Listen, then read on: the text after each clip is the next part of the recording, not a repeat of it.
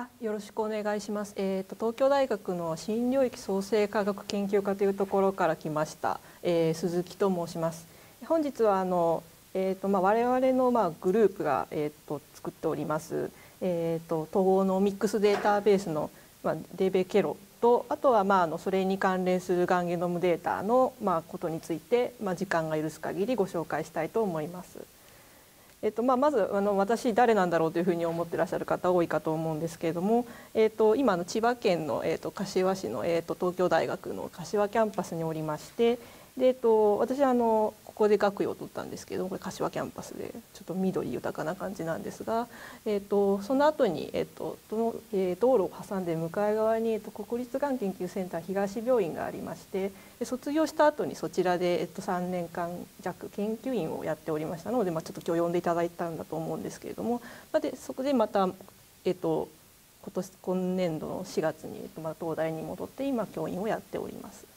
でまあ、どんなことをやっているのかという自己紹介を簡単にしますと一応肺腺がんの、ミックス解析を、えっとまあ、どちらかというとちょっと培養細胞系を中心にやってはいるんですが、まあ、培養細胞株や臨床検体の解析をしております。えっとまあ、次世代シークエンサー先ほどご紹介がありこれはハイセックの2500がざーっとあるんですけれども、まあ、こういったものを使って、まあ、ゲノムエピゲノムトランスクリプトームといったシークエンスデータを、まあ、培養細胞であったり、まあ、あるいは臨床検体から取得してで、まあ、多層ミックス解析であったり、まあ、あと最近よくやられているシングルセル解析や、まあ、あと先ほどあのパックバイオやミナイオンシークエンサーの紹介があったかと思うんですがロングリード解析みたいなことも、まあ、やっていまして、まあ、ゲノムエピゲノムトランスクリプトームならがんの特徴を見出して、まあ、どんなふうにがんをやっつけることができるような、まあ、特徴を見出せるのかといったようなことを、えー、解析しているものです。でもずっと柏に、えー、とおりまして、えーとまあ、そういったことをやっております。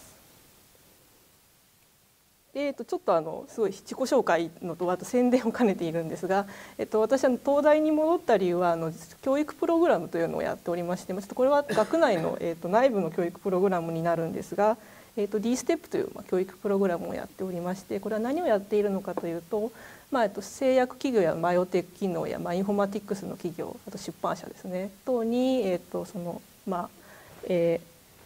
ー、協賛いただいた、まあ、コンソーシアムに出所いただいてであの情報解析をやれるような、まあ、データサイエンスをやれるような人材を育てようというような試みをやっております。ちょっとまだ学内のプログラムなので、えっと、なかなかあのこちらと連携してというのは、えっと、もしかしたらだいぶ将来のことになるかもしれないんですけれども、まあ、こういったことを行って、まあ、特に大学院の学生さん博士課程の学生さんあとは、まあえっと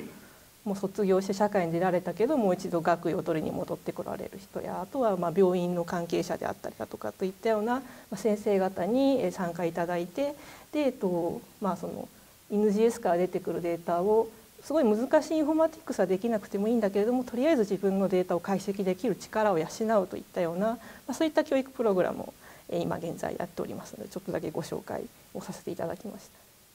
た。でまあえっと、例えばなんかこのさっきあのえーと、解析のところで呪文を唱えるといったような話があったかと思うんですけれども、まあ、その呪文を、まあ、唱えられるようになるといったようなことで、まあ、基礎的なエキソーム RNA-seq チップシークの解析シングルセルロングリードの解析っていうのを、まあ、自分の力で本当に難しいところまでは、まあ、本当のインフォマティクスの専門家に頼んだらいいのかもしれないですがある程度自分の解釈ができるところまでこれを自分でやるといったような講義を、まあ、こんなふうに演習形式で行うといったようなことをやっております。でえっと実はあの、東大の、この新領域創生科学研究科という、大学院の講義ではあるんですが、えー、と大学院の、科目と履修生というのを募集しておりまして、まあ、来年度も募集予定なのでちょっと愛知県だと遠いのでなかなか来られないかもしれないんですけどもしあの関東に移動される予定がある方とかいらっしゃいましたら是非あのこういうのにご参加いただけると解析ができるようになるかなと思います。でまあえっと、こんなようなことをやっているものです。でまあえっと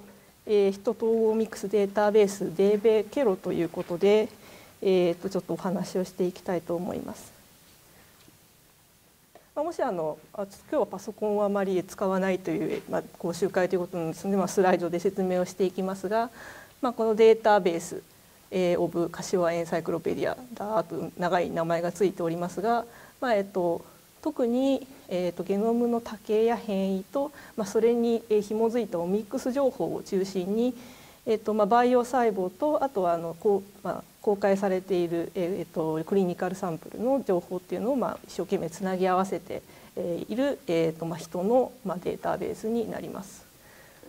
で、まあ、こちらの URL からアクセスしていただくと、まあ、こんなような形でトップページが出てきて、えー、例えばあのその中に集載されているデータを、まあ、でゲノムブラウザで見ることができたりあとはパスウェイマッピングをすることができたり、えー、といったようなことができるデータベースになっております。でまあ、こちらのデータベース、えー、と構築するにあたってあの、まあ、JST の、えーとえー、サポートを得て、まあ、作っております。で、まあ、具体的にどんなようなデータベースなのかと言いますと、まあ、例えば、えーとまあ、例えば ICGC といったあの、まあ、クリニカルサンプルのデータインターナショナル、えー、キャンサージノムコンソーシアムといった、まあ、公共の、えーと、がんの例えばここにミューテーションがありますっていうこれは、えーと、肝がんのデータですけどっていうようなものが、まあ、まずクリニカルサンプルであったと。で例えばじゃあこれが一体何をしているんだろうっていうことがえーと、分からない時ですね特に、えーと、まコーディングの領域にあって例えばタンパク質が変化していたら、まあ、もしかしたら意味があるかもしれないんですけど例えばプロモーターやエンハーサーやイントロンとかそういった場所にあった時にこれは本当に意味のある変異なのかどうかっていうのがまあ分からないなという時に、えーと、例えばじゃあまずこれが本当に体細胞突然変異なのかというのを調べるために例えば、えーとそのノーマルのデータノーマルえジャームラインですね。えーとえー、生殖細胞系列の、えーと、多形がないということをまず調べたりだとかあとはこの、えー、これはここに、えーと、変異があるという意味なんですがこの変異がをと同じ変異を持っている、えー、とモデルの培養細胞株っていうのが本当にあるのかどうかっていうのをこんなふうに、えー、とクリニカルと培養細胞株をま並べて表示することがまできるといったようなことになっています。でで、まあ、ゲノムでこういうふうにつないでその後にこのまあ培養細胞株っていうのは非常に多くのミックスデータをまあ簡単に取ることが、まあ、要はいくらでも増やせるので、まあ、できるということで例えばじゃあここのミューテーションは一体どんなこれこの細胞株はどんなエピゲノムの状態を持っているのかクロマチンの状態を持っているのかメチル化の状態を持っているのかというのを、まあ、細胞株で重ね合わせていってで最終的にどんな発現パターンをこのえ変異を持つことによって例えばアップレギュレートするダウンレギュレートするといったようなことをまあつないでいくといったような、まあ、そういったことがまあ一つできるような、えデータベースになっております。なので、えーとまあ、モデルと臨床検体の変異エピゲノム異常とを、まあ、リンクさせたデータベースということになっています。で、えっと、どんなデータを、まあ、集載しているのかといいますと、えーとまあ、まずあのこれはあの実は私が取ったデータなんですが特に肺腺がんの培養細胞株が、えー、とリッチに、えー、とありまして、えー、ホールゲノム、えー、チップシーク、まあ、アタックシークってオープンクロマチン状態、えー、とどどこの部分のクロマチンが空いてえ転写因子がアクセスしやすいとかしにくいとかといったようなデータであったりあとバイサルファイトシーケンスでメチル化のデータであったり、まあ、あとは RNA シークのようなものを、まあ、まずはモデルのデータっていうのが一通り揃っていると。でまあおそらく培養細胞だけ見ていてもなんかあのリアルなクリニカルサンプルとはリンクしにくいので、えまあ、実際にクリニカルサンプルのさまざ、まな、えーと、このプロジェクトの方にもご協力いただいて、まあ、こういった例えば、えーと、人の、まあ、日本人の多形ですねもともと持っているバリエーションが、まあ、まずどんなものがあるのかだとかあとは例えば臨床検体なんでまあ正常の臨床検体人の細胞がどんなエピゲノム状態を持っているのかといったような、まあ、臨床検体の、えー、人のエピゲノムのデータであったり、まあ、あとはあの皆さんよく、まあ、私よりむしろご存知かもしれないんですけど ICGC や TCGA といった、えー、とこう人の、えー、とがんの変異のまあデータこういったものも、えー、集載して、えー、とこうなんかうまく多層ミックスで何か見出すことができないかなというようなことが、まあ、できるようなデートデータになっています。まあ、それにプラスしましてあの、えーと、この、まあえーとまあ、データベースを作っている、まあ、ラボは、まあ、シークエンサーとか、まあ、そういった大規模機器がたくさん揃っておりますので例えば、えーと、非常に新しいテクノロジーをえー、から取ったデータっていうのが、まあ、一体どんなデータが出てくるのかといったようなものを、まあえー、とちょっとこれはあの培養細胞のデータになってしまうんですが、まあ、こういったものも載せています。例えば、えー、とシングルセル、えー、RNA シークのデータで、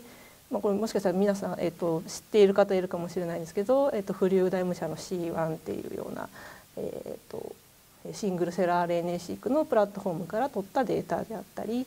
えー、とこれも非常に有名かもしれないんですけど 10X ジェノミクス社が出しているクロミウムというようなからまあ取ったデータであったりといったようなものも、えー、と今集めている、えー、ところであります。あとは、まあえー、と先ほど、えー、ご紹介があった、まあ、ロングリードシークエンサーです例えばミナイオンのようなこれそういうちっちゃくて分かりづらいですけどここに USB 型のシークエンサーがあるんですがこういったものから取ったデータっていうのもここに集めております。あとは、えーと、このいった、えーと、ミックスの情報を、まあ、バックグラウンドに持った細胞に、まあ、例えば薬をかけたらどんな変化が起こるのかといったような、まあ、そういったデータっていうのも今徐々に集めてきていると。まあ、こういった形で、えーとまあ、スタンダードなマルチオミックスなデータと新しいテクノロジーとあとはそういそういった、まあ、バックグラウンドを持つ細胞に、えーと、どんな刺激を与えるとどんなレスポンスが起こるのかといったようなことを、まあ、網羅的にえーと、載せているというような、まあ、そういったデータベースになります。で実際にあのもしあのお時間がある方はぜひ見ていただきたいんですが、まあ、データデーベイケロっていうのはまどんなふうに使うのかということで、まあ、トップページ開いていただくとこんなような形で出てきます。でなんかこの子に、えーと、サーチフロムキーワードみたいなものがありましてまあ、これをクリックしていただくと、ま、こういうようなページが出てきます。でそうしますとここで例えば遺伝子であったりあとはゲノムのポジションあとはあの、まあ、あの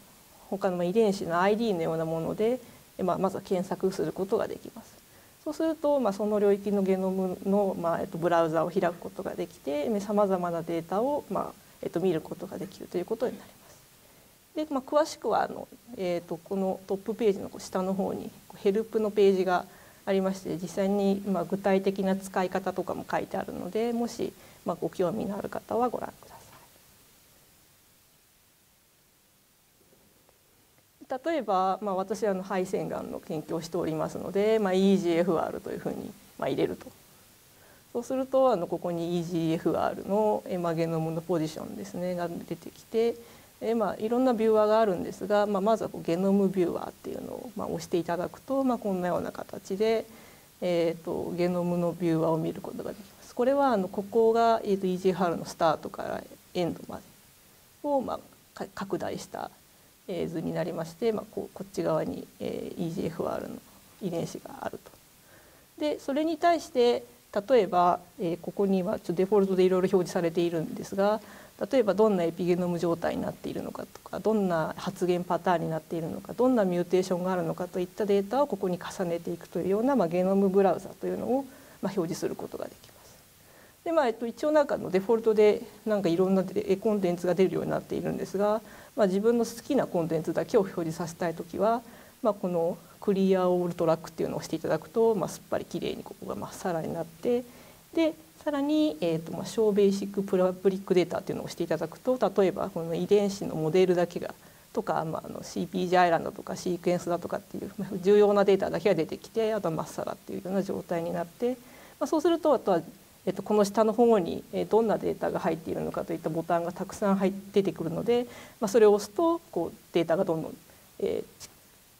入れられるといったような、まあ、そういった仕組みになっています。まあえっと、よくあるゲノムもしゲノムブラウザとか使っていらっしゃる方がいらっしゃったら、まあ、よくある、えっと、ゲノムブラウザと同じような使い方ができるかと思います。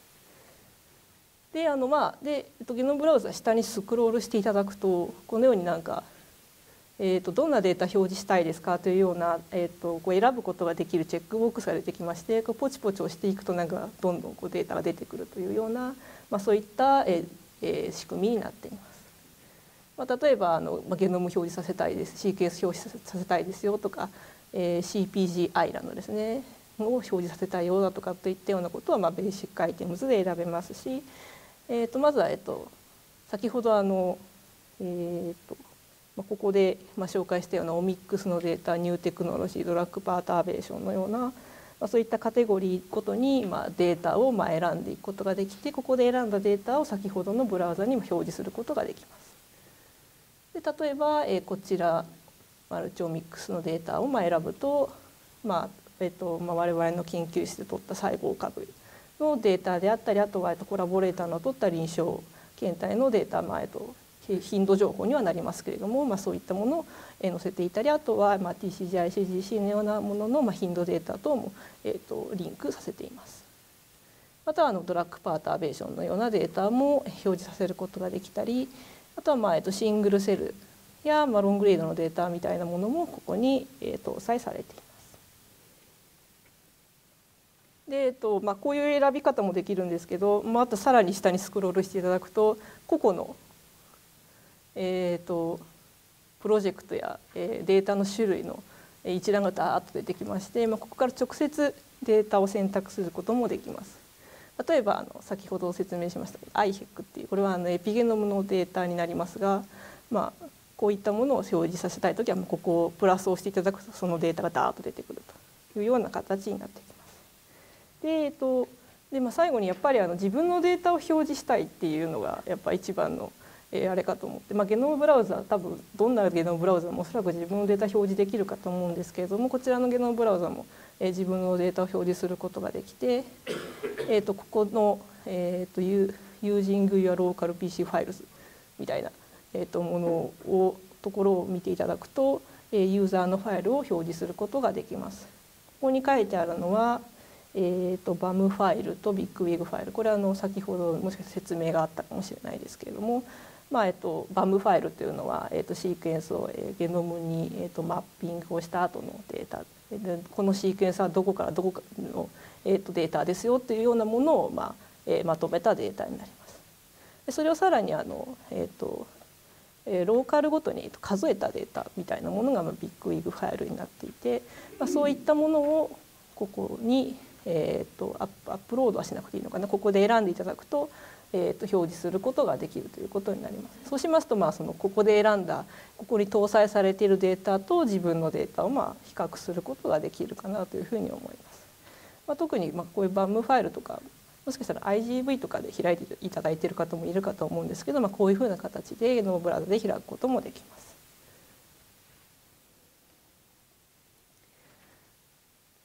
で実際にあのどんなデータが入っているのかっていうのをいろいろと紹介しようかと思うんですけれどもここの SNP、えー、と SNV パブリックデータというところに、えー、とこう TCGA や ICG ちょっとあのもしかしたら古いかもしれないのでもっとアップデートするといっぱい増えるかもしれないんですけれども各 TCGA のデータセットや ICGC インターナショナルゲノムキャンサーゲノムコンソーシアムのデータ各がんごとにえーと、まとめておりまして、まあ、こういったものをクリックしてもらうとその先ほどのゲノムブラウザのところにこのポジションの、えーとまあ、ゲノム変異がここにありますとでそれにさらに頻度情報みたいなものを、まあ、表示することができます。まあ、さらにそれ以外にもまあいろいろな、えー、とデータというのをえ表示することができまして、まあ、一例は、まあ、この ICGC や TCGA といった、まあ、非常に有名ながんゲノムデータを表示することができるのとあとは、えっとまあえっと、コラボレーターですね、えっと、肺がんの、えっと、データであったりあこれは、えっと、小細胞がんですかね。肺の小細胞がんのデータ。こちらはあの先ほど説明があった、えっと、JGA ですかね。あちらに登録されているようなものも、まあ、頻度情報にはなるんですけれども、まあ、こちらで表示することができます。でまあ、実際にどんな感じなのかっていうのをこれ絵で示しておりますが例えば、まあ、私やっぱり肺腺がんの研究者なので、えっと、EGFR の、えっと、あれですねあのゲフチニブとかエルロチニブとかオシミルチニブが効くと言われているあの L858R という、えー、変異ですね、えっと、それのまあゲノムのポジションをまあここにこれはあのゲノムブラウザーのページを見るとここういうのが出てくるんですけどここに、えっと、打っていただいて、えっと、ビューを押していただくとえっとまあ、この L858R のここの、えー、と塩基の部分が出てきます。でそこに、えー、と先ほどの、えー、とチェックボックスとかを使って例えば、えー、これはあのクリンバーという、えー、とパソジェニックな、えー、とバリエーションをバリエーションや変異をまとめたデータベースになりますがそういったものを表示したりあとは TCGA の肺腺がんの頻度を載せたりさらに、えー、と肺腺が日本人の肺腺がんの頻度を載せたりあとは、まあ、培養細胞の頻度を載せてみたりあやっぱたくさんあるなっていうような感じになるんですが、まあ、こういった形で、えー、とゲノム変異をまあ表示することができます。でさらにそれをなんかいろんなデータをわさわさと入れていくとえこれはあの特に、えっと、細胞株はゲノム先ほどはゲノムの変異こちらはゲノムの変異だけですが、まあ、培養細胞株になると、まあ、例えばこれはメチレーションですね。これはこれは何の遺伝子だろう？あこれは EGFR ですね。これは EGFR ここから始まってここで終わってる EGFR の遺伝子になりますが、えー、っと例えばこれメチル化のデータになります。上に行くとメチル化されてて下に行くとメチル化されてないみたいな、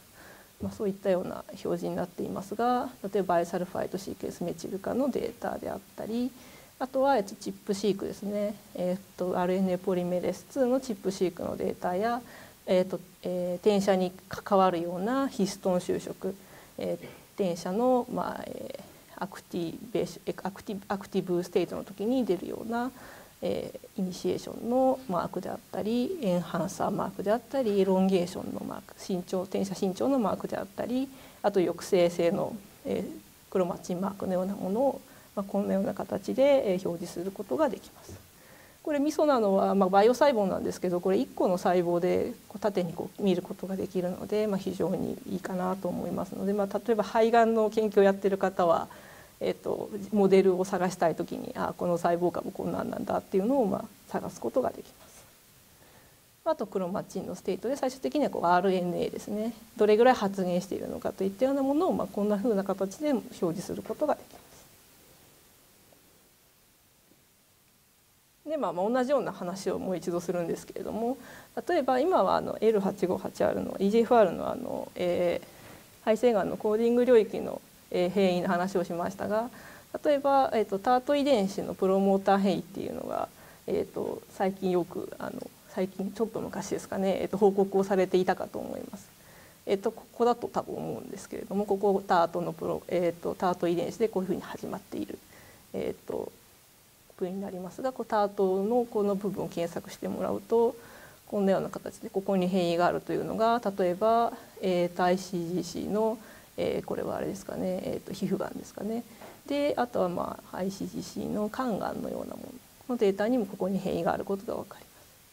一方であの、えー、と多形のデータベースではここでは、えー、と何もないのでこれはおそらくえーと、多形ではなくて変異なんじゃないかといったようなことが分かってじゃあこの変異持ってる細胞株あるのかっていうふうに探してみると、まあ、この細胞株が実はここに変異を持っていて、まあ、こういった症例の実はモデルになりうるこの遺伝子に限ってはですけどモデルになりうるものもま探すことができるというような形になります。で非高度領域これプロモーター領域の変異なんですけれども、まあ、非高度領域のゲノム変異とか多形っていうのはこれからもしフォールゲノムとかをえー、と行っていくにあたって非常にあの何やってるのかわからない、えー、とような変異になってくると思います。ここに変異があることで意味があるのかどうかっていうのをが、えー、と分からなかったりするんですけれども、まあ、それを、まあ、保管する形で例えば、えー、とエピゲノムの情報を重ねて RNA の情報を重ねると、まあ、その、えー、転写制御領域の変異というのが、まあ、実は転写制御にすごく影響していて。まあ、この例ですとこういうタートのプロモーターに、えー、と変異がある株とない株っていうのを比較していって、まあ、ある株の方がなんかこう活性、まあ、マーカーが出ていてでポルス2もバインドしていてで発現も高いといったような変異がある株がアクティブになっているといったようなことがまあ分かるかと思います。でまあ、ここまでがあの搭載していたあのオミックスのデータで、まあ、こんなような形でまあただただ表示することができてまあ、あとはあのえっ、ー、とですねまあいろいろな実は機能がえー、とあるんですけどちょっと今日多分全部紹介しきれないんですけど例えばこれあのデータデーベ経路ですねこの,、えーとまあ、この URL ですねで、えー、と検索していただくと、まあ、こんなような形で、えー、とデータベースの、まあ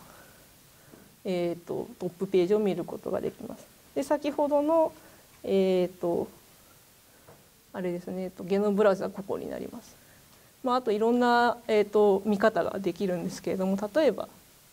まあ、こういうような、えーと、これは、えー、パスウェイマッピングのようなものもできまして例えばこれもしかしたらご存知の方いるかもしれないんですけどシェルシグナリングテクノロジーから、えっと、お借りした前とかを、えっと、使って例えばっとすいませんこれ資料に載ってないかもしれないんですけどもこういうような形でパス絵を選んでいただくと,、えっとこんな形でなんかパス絵にが出てくると。でここでなんかこういろいろなデータセットを、まあ、選ぶことができて、えー、とここの遺伝この細胞この遺伝子この遺伝子にどれぐらい変異があるのかとかどれぐらい遺伝子が発現しているのかといったようなことを、まあえー、と見ることができるような、まあ、そういった機能も一応ついております。こういった形でとりあえずまずデータを見ることができるということが、まあ、でそれを縦に、えーと、ミックスのデータを並べることができるというのがもうオリジナリティが高いのかなと思いますしあとはあのこの配線眼のミックスデータは一応ここでオリジナルに取ったデータなので、まあ、それがまあ強みかなと思っております。で他にもなんかさまざまなプロジェクトと,、えーと、リンクをしておりましてもこれはあの、えーと、プレスターヒックですねえーと、先ほどの、えーと、から何度も出てきている IHEC という、えー、国際ヒトゲノムコンソーシアムの日本のチームのデータが、えー、実はこのデーベーケロに,、えーとえーにえー、と載せられております。えー、このデーベーケロからの、まあ、公開としましてはこういった、えー、これはノーマルになるんですかね、えー、と正常部位のエピゲノムの状態っていうのを、え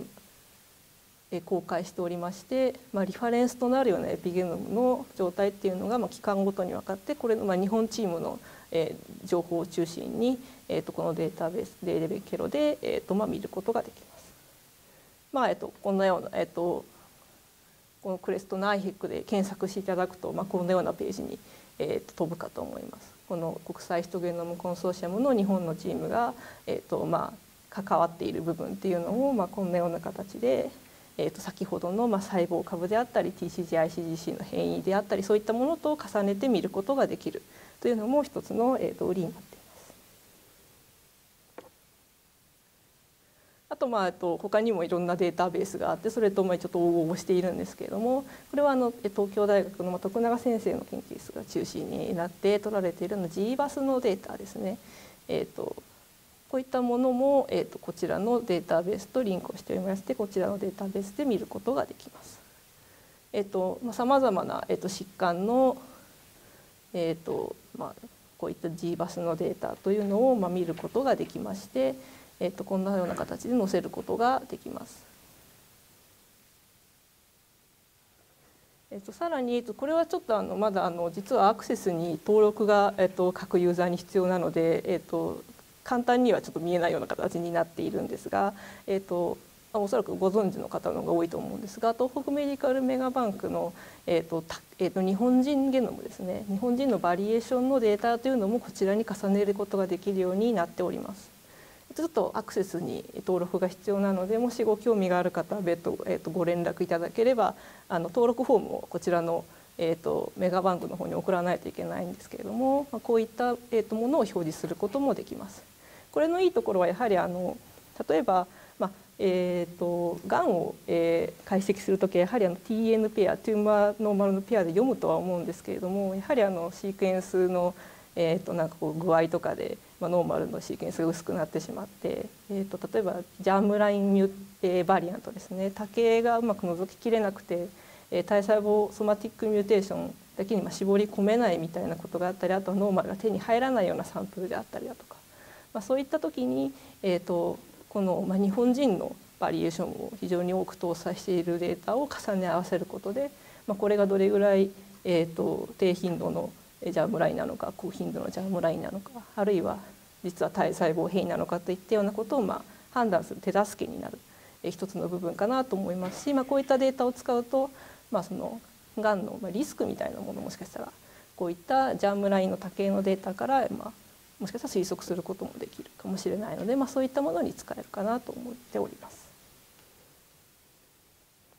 あとあのこれもあのちょっと準備中ですというふうに言えと言われたので えとこれはあのチップアトラスとの統合も今進めておりましてこれまあちょっと準備中なのでまだこのえと部分が見えないんですけれども、まあ、こういった形でえとチップアトラスやまあその他のデータベースと一応統合をしてこうなるべくこう一つの画面で全部のデータを見てまあ、好きなデータを自分で選んで、えっと、見られるような形にすることで、まあ、そのすごいたくさんのデータベースがおそらく公開されていると思うんですけど、まあ、それをあのうまく、えーと、生かしていくっていうのを、まあ、このデーベキロで実現できたらというふうに、えー、考えております。あとまあこれもあの、えーと、統合バーという今日もご説明があったのかちょっとわからないんですけれども、まあえっと、この日本人の多様性の統合データベースのようなものもこれ NBDC EBCLS から、えーと、作られて公開されているということで、まあ、こういったものとの統合も今準備しておりまして本当にあの特に日本人に、え固有の、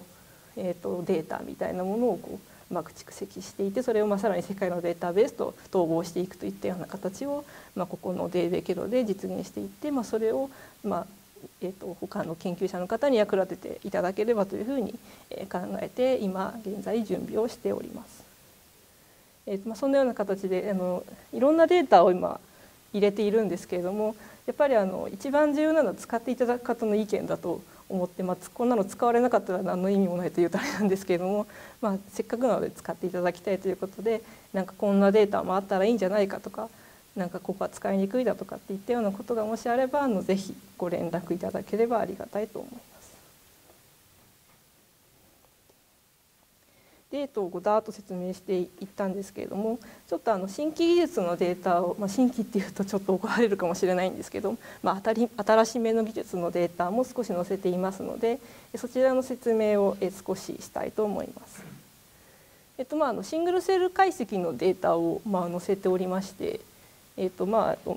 発言量を見れるだけにはなってはいるんですがそういったものも、えっと一応搭載していますちょっとまだ細胞バイオ細胞株のデータしかないんですけれども、えーとまあ、シングルセル解析ということで、えー、と1細胞ごとのエピゲノムトランスクリプトーム、まあ、ゲノムもいけるんですかねのパターンっていうのを、まあ、次世代シーケンサーで、えー、解析するというような、えー、ものになっております。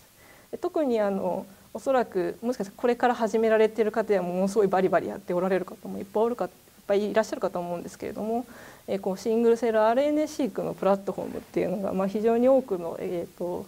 えー、まあ、企業から、えーまあ、売り出されている状況になっているかと思います。でまあ、それぞれさまざまな特徴があって今いろんなものが取れることがまあできます。まあ、ここのデーベキルに載せているのはこの C1 のデータとあとクロミウムのデータになっております。例えば、えーとまあ、こう C1 で言いますとこうマイクロフリューディクスといってこう微小流路があるようなところにこう細胞をキャプチャーしてやってでこの微小流路でこう、えー、と逆転写や CDN のアンプリフィケーションを行ってでライブラリを作成するといったような、まあ、そういったテクニックを使って、まあ、これぐらいの細胞を解析する。逆にこう Chromium のようなものは、えー、と microdroplet といってこうなんか油滴にこう細胞を閉じ込めて、えー、とこうその中で、えー、と逆転写やをまあ行ってこうバーコーディングを行ってでまあその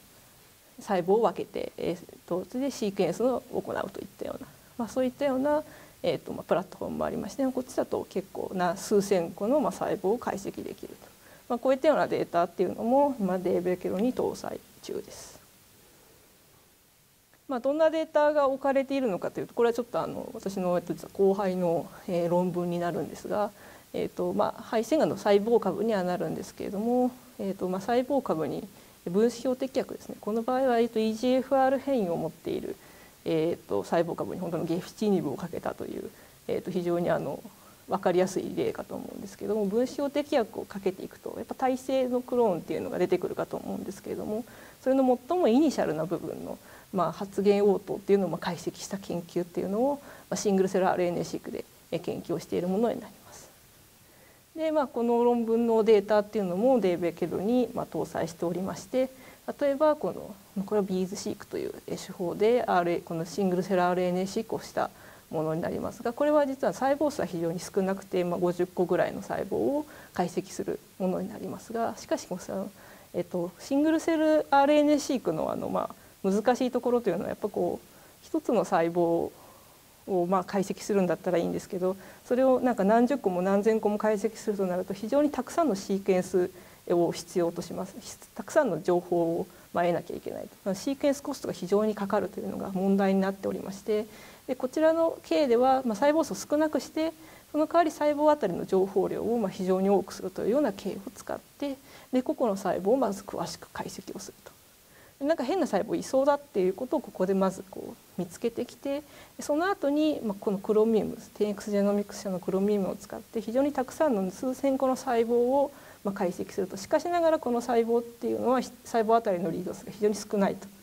なのでまあ、えー、と情報量はそんなにないんだけれども集団をこのように解析することができるということで、まあ、こういった2つの、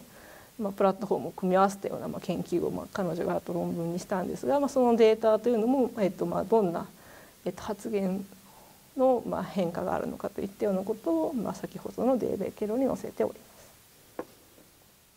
でまあ、こんなような形でこうニューテクノロジーズのところのシングルセルのところを、えー、と見ていただくとこんなような形でこう C1 クロミウムビーズシークといったようなプラットフォームを選ぶことができて例えばこういうゲノムブラウザにこの発現のディストリビューション。これ1細胞は、えではなくていくつもの細胞を同時に表示しておりますのでこういうようなディストリビューションを描くことができたりあとはまあこうこちらのがもしかしたらあの、えーと、アフィニティの高い図かもしれないんですけれどもよく見たことのある図かもしれないですがこのティスニービューみたいなものでえーと、発言量を見ることができたりといったような機能も搭載しております。でまあ、これまでが、えっと、シングルセルの、えっと、話であと、えっと、もう一つロングリード解析っていうのも、えー、のデータっていうのも、えっと、こうこちらのデーベキロに載せておりましてで、えっとまあ、特に、先ほど紹介がありました、えっと、ナノポア型のロングリードシークエンサーの、えっと、こうデータを一応載せております。でまあ先ほど紹介があったのはミナイオンというこれですね。えー、とこれぐらいの大きさの USB-C 検査で、まあ、10万円ぐらいで買うこともできる今安い C 検査になりまして、えー、と昔はそれこそ数千本とか数万本のリードしか読めなかったんですが最近はなんか5ギガベースぐらい読めるというなんか RNA シークとかできてしまいそうなぐらいの、まあ、一応なんかシーケンスがまできるようなものになっております。でまあ長いリードをまあ読むことができると。あと実はこれの大型機のプロメッションっていうのが実は発売は発売されてるのかは一応、えー、と出てきておりましてでこれはあのこのミナイオン48個並べたという、まあ、非常にこう何と言いますかでかいこれちょっとこれぐらいの大きさなので少しでかめのシーケンサーなんですが、まあ、こういったものも出てきておりましてでまあえっと、実はフローセルあたりも30ギガから100ギガベース要はあの1ラン1から数ランで1ゲノム解読できてしまうような実はそういったロングリードシーケンサーも出てきております。まあ、まだあの若干あのシーケンス精度が悪いので、えっと、いきなりこう例えばイルミナ社が出たしているようなショートリードシーケンサーからこれに切り替わるということはないと思いますが、まあ、今後こういうなんかロングリードの、まあ、シーケンサーみたいなものも出てくるということで、まあ、こういったもので、えっと、例えばがんゲノムを解析したような、まあ、そういったデータっていうのも、まあ、データデーベケロに今搭載していると。でまあえっと非常に長い数十キロのロングリードを解測することができまして例えばあのゲノムの構造異常のようなショートリードシーケンサーではちょっと難しいような検出が難しいようなものを検討見ることができる。で、まあ、結構早くシーケンスが終わりましてあとはあの実はこれ、えっと、ナノポアの中のこう DNA が通る時の、えっと、4電流の差みたいなものを読み取って、えっと、シーケンスをしているので実はダイレクト RNA シークといって今の、えっと、シーケンサーはあの cDNA に変えてから RNA シークをするんですがダイレクトに RNA をまあ読むことができたりなので、まあ、就職延期とかもダイレクトに解析することができるといってまあ、こういったようななんか結構今までと違うようなデータが出てくるんですけど、まあ、そういったものもなんとかこうデータベースに収めていこうという取り組みをしております。でまあちょっと私事になるんですが一応ミンネオンを使ったがんゲノム解析みたいなのもやっておりまして、えーとまあ、これはこれはちょっとすごい昔のデータなのでちょっとしょぼいんですけれども、えー、とミナイオンを使って、まあ、変異検出をしてみましょうとかあとフェーズ情報というのはあのまあ、人のゲノムはまあ2コピー、まあ、がんだともしかしたらもっとコピー数多くなってるかもしれないんですけど2コピーあるのでその例えば変異が入2つ変異が入った時にその変異が同じ DNA に載ってるのか載ってないのかといったようなことをまあ解析するような、まあ、そういったような、えーと、別論文を出しておりましたり、まあ、あとはあのミナインを使って、え、例えばショートリードの従来型の NGS のシーケンサーですと,、えーと、と RNA を断片化してからシーケンスするので、えーと、スプライスパターンだとかあと融合遺伝子みたいなのもちょっと難しい検出するのが難しかったんですが、まあ、そういったものをこう長いロングリードシーケンサーで全茶 RNA シークをするといったような、まあ、そういったようなこともまあやっておりまして、まあ、こういったデータをどんどん集めております。まあ、あと本当にこれも私事なんですけれども一応あの今次世代がんに、えっと、採択していただいて、えっと、この、まあ、エメドの方でサポートしていただきまして、えっと、一応この先ほど言ったあのミナヨンが48枚刺さる、えっと、プロメシオンという、えっと、大型のシーケンサーを使って、えーと、ロングリードシーケンスで、えーと、しか見つからないような新しいがんゲノムの変異を探しに行こうというようなことを今試みております。と言いますのもやっぱりこの、えーと、ドライバー変異をすごく、えー、と一生懸命と NGS で見つけてであのクリニカルシーケンスを行って、まあ、非常に成功しているとは思うんですが一方でやっぱりあのどうしてもドライバー変異見つからなかったり治療標的がうまく見つけられないような症例がどうしても残ってしまうと。あとは治療抵抗性の出現のようなものも出てくるということでなんかこういったものは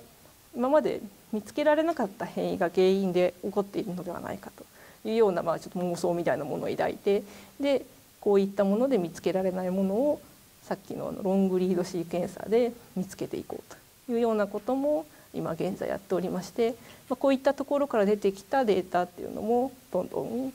集めて公開していきたいというふうに考えております。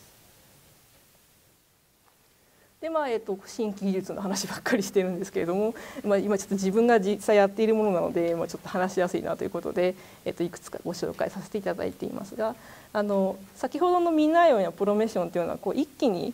えーと、物理ロングリードと呼んでいるんですがそのまま長い DNA を読むというようなものになるんですがまあ、そうではなくて、えー、と最初にこう長い DNA にこうバーコーディングを施しておいて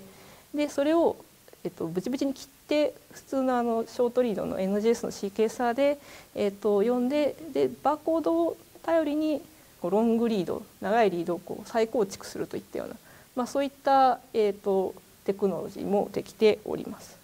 でこれはあの10x Genomics 社が出している Chromium ゲノムエキソームみたいなそういったもののから、まあ、 linked read というような形で、まあ、リンクされた read なんですけれども長い、えーと、シンセティ合成ロングリードのようなものをこういったものを作成することで例えば先ほど言ったあの、えーと、人のゲノマにコピーあるという話で変異がどっちのゲノムに入っているのかといったようなことを、まあ、解析するようなフェーズ解析であったり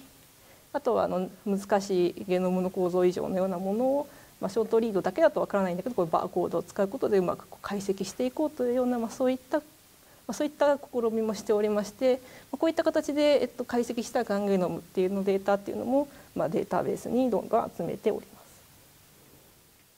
まあ、これはあの先ほど説明したのタートのプロモーターの話なんですけれども例えば、えっと、こう転写、えー、っと制御領域ですね通の、えー、プロテインえ、コーディング領域ではないところに変異が入ってるとやっぱ先ほど言った通りなんかあのこれは何してるんだろうっていうのがよくわからないことが多いんですが、まあ、おそらくこう遺伝子発現や転写制御にもおそらく大きく関わっていて最終的にはもしかしたらがん化に関わってるかもしれないというようなことがあるかもしれない。そういったものをまあ解析するのに実はロングリードちょっと使えないかなということで、えー、と解析をしております。でまあ、えっと、これはあの私のまた後輩が書いた論文なんですけれども、えっと、先ほどこのリンクドリードですね、えっと、合成ロングリードを使って例えばこう、えっと、プロモーター領域転写制御領域に変異があった時にこう例えばヘテロに変異が入りますね。こっちが、えっと、DNA が2コピーあるとするとこちらが、えっと、ワイルドタイプでこっちが、えっと、変異の入った、えっと、コピーだったとしてでここに、えーと、プロモーター領域に変異が入った時にじゃあ RNA はどうなっているのかというのを、まあ、これを NGS で解析すると。そうすると,、えーと、本当だったら C と A は両方発現しているはずなのに A しか発現していないというような時に実はこの t がプロモーター領域に t の変異が入ることでこっちの TA のコピーだけが発現していると、まあ、そういったようなことがまあ分かるかと思います。でこれをチップシーク RNA シークで解析をしてこうインバランスですね T しかチップシークで出ていないとか A しか RNA シークで出ていないといったようなことをまず NGS で解析をして最後にこの T と A の関係性をロングリードで解析をするといったような、まあ、そういったようなちょっとあの、まあ、ややこしい解析も、えー、しております。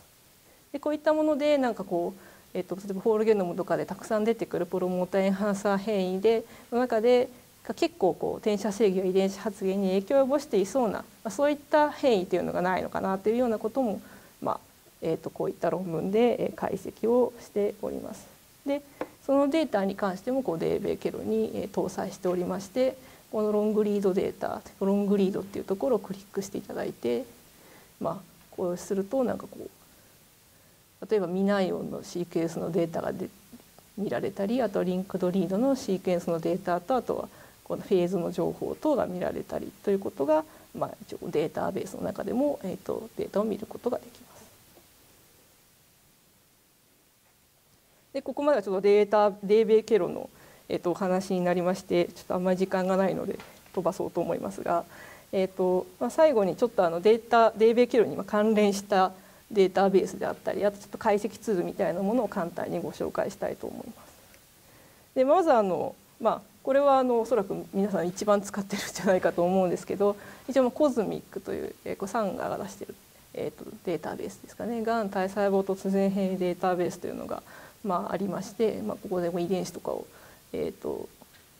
検索してもらうとまあ、体細胞突然変異のカタログを例えば EGFR の L858R は体細胞ですとかなんかあの KRAS にはこういう体細胞突然変異がレポートされていますとかっていったような、まあ、そういったものをまあ見ることができるデータベースになっております。でこのデータに関しても、まあ、デーベーケロ今デーベーケロの宣伝ばっかりですがデーベーケロでごリンクさせていただいておりまして、まあ、こちらをクリックすると先ほどのゲノムブラウザで、まあ、こういったデータもまあリンクすることができます。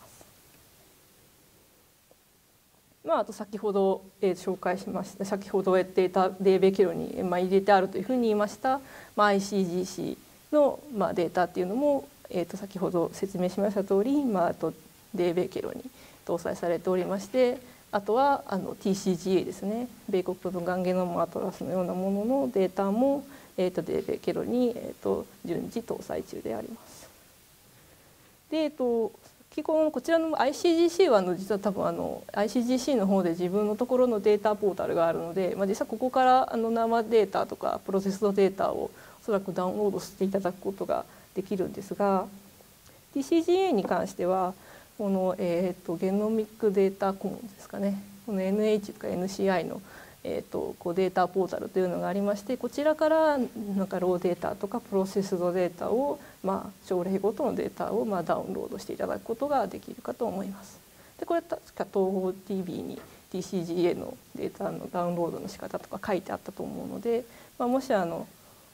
直接そういったものを使いたい方は、まあ、こういった、えーと、とウェブサイトを見ていただくとよろしいんじゃないかなと思います。まあ、あとはあの cell line をまあ探したいといった時に、えー、とこれは、まあ、これももしかしたら皆さんの方が詳しいかもしれないんですけど、まあ、 Broad が出しております、えー、と Cancer Cell Line Encyclopedia というところで、えー、とまあおそらくさまざまな論文がここから出ているかと思いますがこちら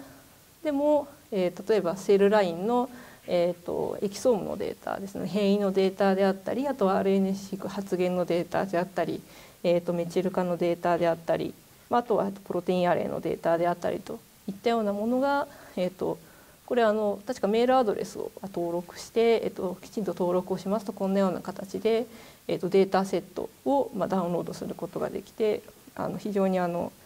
まあ、本当発言量になっているようなデータっていうのを落とすことができるので。まあ、こういったもので、まあ、セルラインのデータっていうのもここから落とすことができます。で、えっとまあ、先ほどのデーベーケロは結構配線管のデータに実は偏っているので、まあ、こういった、まあ、公共データのようなものもうまく使ってこれからこうパンキャンサーに広げていきたいなというふうに考えております。で、えっと、これが最後になるんですかね。であの私はまあがんセンターに、えっと、いた時に、えっと、隣の、えっと、お医者さんがこれを使っていたのでちょっと今日はこれを最後に紹介して終わろうかなと思うんですが、まあ、もしかしたら皆さん使っていらっしゃるかもしれないんですけどまシーバーポータルというような、えーと、こういったような、まあ、ウェブサイトがありまして、えーと、ここであの例えば TCGA とかさまざまながんゲノムのプロジェクトのデータっていうのをここでなんか結構いじることが、えーとできます。これでかなり便利だなと思っていまして、まあ、集載しているデータセットはここの URL にえっと、書いてあるんですけれども、まあ、結構かなり多くのデータが集載しているので私なんかも自分で計算したデータが不安な時にここに、え見に来てあ同じ結果だみたいなのを、えっと、ちょっと調べたりとかっていうふうなことをしています。例えばコミューテーションやエクスプレッションやサバイバルのデータをま閲覧することができたりだとかあとまあ好きな遺伝子のオンコや症例でオンコプリントあのこうどれぐらいの症例にこの変異が入ってますみたいなえーと、ものや、まあ、カプランマイヤーカーブみたいなものもこれである程度書くことができるみたいで、まあ、非常にあの便利なツールだなというふうにちょっと思っているのでちょっと本日これだけを紹介させていただきました。でまあこのまあ、このトップページのここでこうなんかこういろいろがんのデータセットを選ぶことができるんですけどこのこのビューサマリーっていうのをこの辺で選べるんですけれどもここを押すとなんかこうそこプロジェクトのサマリーっていうのを見ることができます。で例えば、えーと、なんかこの辺に、えーと、症例を選択できるようなタブがありましてでそこで、まあ、あのなんかちょっと気になる症例みたいなものをこう入れてあげるとその症例だけこう分けてこうカプラマやカブをこう書いてくれたりだとかピーチを出してくれたりだとか、まあ、そんなような、まあ、結構、えーとこともできましてなんかあの、まあ、まずはこれで見てみてさらに詳しい解析は自分でローデータを落としてきてやるっていうのもいいんじゃないかなというふうに、まあ、TCGA とかに関しては、えー、思います。まあ、こんなような形でいろんなデータベースみたいなツールが出ているので、まあ、こういうのもどん見習いながらあのデーベケロもどんどんパワーアップしていけたらなというふうに考えております。という形で、えっと、以上になります。で、えっと、今回あのデーベーケロのお話をずっとさせていただいてちょっと宣伝みたいになってしまったんですけれども、えっと、これはあの一応ライフサイエンスデータベース統合推進事業ということであの JST の、えっとまあ、サポートを受けておりまして、まあ、菅野藩ということで、えー、東京大学、えー、と今東京医科歯科大学に移られましたが菅野先生のも中心に、まあえー、と構築している、まあ、データベースになります。であとは、まあえーとまあ、IHEC の方々やあと DBCLF スタッフの方々には非常にサポートいただいておりまして、まあ、この場をお借りしてまあお礼したいというふうに思います。あとまあこの DBA ケロというのはあの東京大学の医科研ので、えーと、ヒットゲノム解析センターのスーパーコンピューターシステムから、まあ、公開されておりまして、まあ、この、えーと、スーパーコンフはあのお金払えば誰でも借りることができるのでもし解析したい方はこういったところでから、えーとスパコンを借りたりとかっていうこともできるかなというふうに思っております。えっと、すごい非常に多くの方々に、えっと、サポートいただいているデータベースですので、まあ、ぜひ皆さんに使っていただけたらというふうに考えております。以上に